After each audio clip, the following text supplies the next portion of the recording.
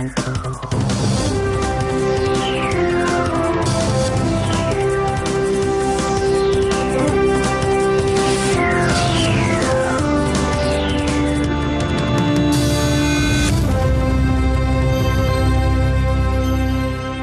เหตุคนร้ายกราดยิงครอบครัวม้ามันที่อำเภอบาเจาะจังหวัดนราธิวาสทำให้ครอบครัวต้องสูญเสียบุตรชายไป 3 คนนะคะ ขณะที่แม่ซึ่งถูกยิงที่แขนขวา ยังคงรักษาตัวอยู่ที่โรงพยาบาล และก็ได้เปิดใจกับทีมข่าวสำนักข่าวไทยว่าจนถึงขณะนี้ยังคงหวาดกลัวอยู่นะคะ เพราะว่าเกรงคนร้ายจะกลับมาลอบทำร้ายอีก คุณมูฮัมหมัดรุสดีเชคฮารูนมีรายงานค่ะ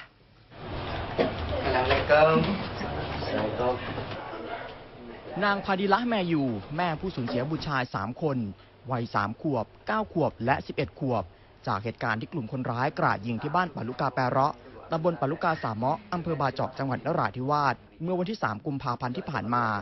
ยังคงพักรักษาตัวที่โรงพยาบาลสงขลานครินทร์จากอาการบาดเจ็บที่ถูกยิงที่ข้อศอกทำให้กระดูกร้าวแพทย์ต้องเชื่อมกระดูกโดยใช้เหล็กยึดตรึงกระดูกที่แขนขวา ซึ่งต้องใช้เวลาพักฟื้นอีกระยะหนึ่ง Oh ya tak boleh lagi lanjak ni. Hmm.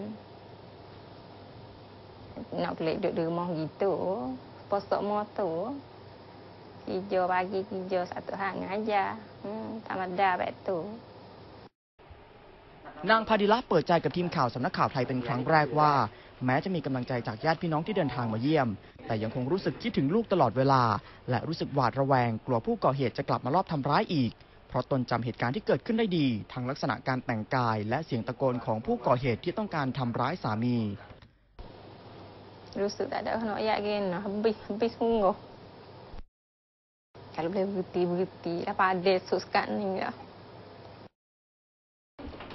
ตลอดเวลาที่พักรักษาตัวที่โรงพยาบาลสงขลานครินทร์กลุ่มนิสิตนักศึกษาจากมหาวิทยาลัยสงขลานครินทร์วิทยาเขตหาดใหญ่ อาสามาเฝ้าไข้ตลอดเวลา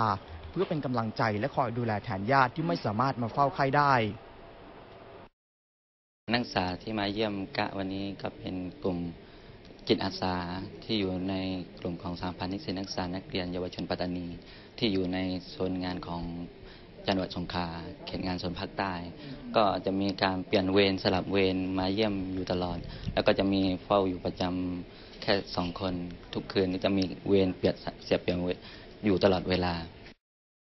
สำหรับความคืบหน้าของคดียังคงอยู่ในระหว่างการสอบสวน และยังไม่สามารถสรุปชัดเจนว่าเป็นเหตุความขัดแย้งส่วนตัว หรือเหตุไม่สงบในพื้นที่ แต่นางพดิละในฐานะผู้เป็นแม่ ได้ร้องขอผู้ก่อเหตุให้หยุดการกระทำเพราะเหตุการณ์ที่เกิดขึ้นได้สร้างความสูญเสีย และพรากทุกอย่างไปจากชีวิตของนาง มูฮัมหมัดรุสดีเชคคารุนสำนักข่าวไทย อสมทรายงาน